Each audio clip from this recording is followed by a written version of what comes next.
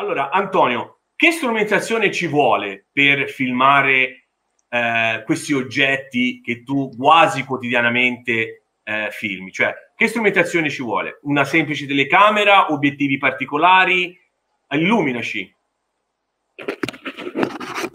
Beh, oggi con l'ausilio della tecnologia da qualche anno, anzi a partire dagli anni 90, con le vecchie telecamere, quelle grandi a cassettone 8 mm, eh, le manifestazioni sono aumentate a, a dismisura a livello mondiale e la gente ha sempre documentato con ogni tipo di mezzo eh, mm. queste manifestazioni. Tant'è vero che oggi anche con l'ausilio di un buon telefonino possiamo fare degli ottimi filmati.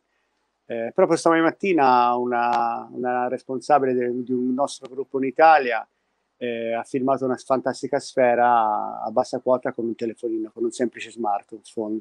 Quindi non è importante ora come ora eh, avere il tipo di strumentazione. Ovvio, è, è, importante perché poi, siccome va sotto l'occhio critico dello scettico, dell'analista, per dimostrare che si tratta di un vero, ovviamente mh, più strumentazione sofisticata è, è meglio per tutti, anche per la soddisfazione nostra poi di andare a rivedere di cosa abbiamo visto e documentato. Ma poi tu, eh, Antonio, io... Antonio, scusami, quando tu filmi un, un, un oggetto, poi ovviamente cosa fai? Lo dai all'aeronautica militare per metterlo sotto vaglio di eh, occhi scientifici? Cioè, che, come si fa a dire che questa è una sfera particolare, quindi un oggetto non identificato, quindi un UFO, rispetto magari a una sonda eh, atmosferica che magari eh, possono aver messo eh, gli scienziati della meteorologia, per esempio. Ecco, tu una volta che hai filmato, che cosa fai con questo materiale? Beh, posso dirti innanzitutto, partendo dall'ultima affermazione che hai fatto, io filmo di tutto, dalle sonde ai palloncini, all'aerei, proprio per far vedere in comparazione che si tratta di oggetti volanti non identificati per alcuni, mm. quelli che per noi sono eh, vere e proprie astronavi o artefatti di origine extraterrestre, e poi eh, tanto materiale in tutti questi anni eh, al di là di dove va a finire il mio materiale, e ora te lo dico, te lo confermo, ma c'è tanto di quel materiale in possesso delle, dei reparti militari, documentati anche. Lo stesso Pier Giorgio Caria è stato in Russia e ha dimostrato che gli stessi militari di altissimo livello hanno della documentazione UFO, tant'è vero che è stato consegnato nelle sue mani. E, eh, però nel caso mio eh, ti posso dire che abbiamo provato e tentato tantissime volte di dare materiale eh, a questi reparti militari, ma le porte sono state sempre chiuse, anche perché non potrebbero negare davanti all'evidenza, specialmente davanti a oggetti che avete visto fino ad ora. Eh, non si tratta di lucine di notte malinterpretabili allora che vengono scambiati per UFO. UFO vuol dire oggetto volante non identificato, può essere, può essere tutto e niente.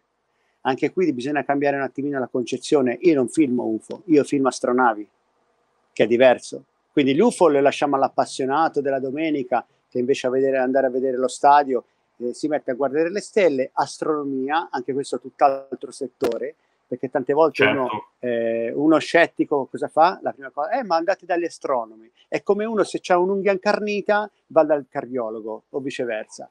Di cosa stiamo parlando? Il cosmo, è, eh, questo è un fenomeno interattivo, intelligente, il cosmo è la casa di Dio, diciamo così, però all'interno ci sono dei contenuti, come ci siamo noi ci sono altri.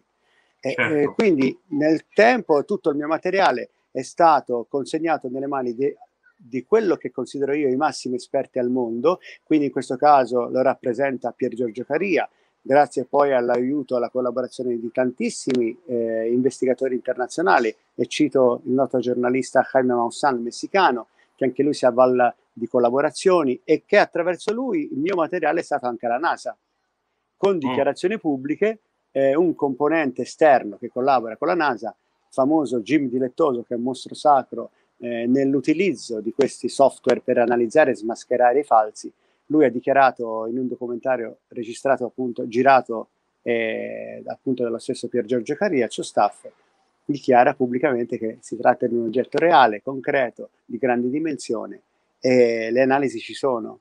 Poi mm. in passato ancora, prima di collaborare con Pierre, il uh, mio materiale è stato proprio in Inghilterra da Russell Callaghan, eh, un altro, una pietra miliare della, dell'ufologia internazionale di quegli anni, eh, c'era un altro, un'altra ancora. Ehm... Philip Mental per caso, Antonio? Philip Mental. Philip Mental e Russell Callaghan, che tra l'altro è una dichiarazione che al tempo collaboravo con Maurizio Vaiata, un grande oh. ricercatore italiano, sì. che tutto il mio materiale è, è, stato consegnato nelle sue mani e se, eh, se la gente nell'ombra del dubbio no? non crede, può andare a cercare Maurizio Baiata, Antonio Urzi e lì viene fuori la sua dichiarazione dove dimostra il fatto che fino a quegli anni là, nel 2004-2005, il nostro materiale era genuino.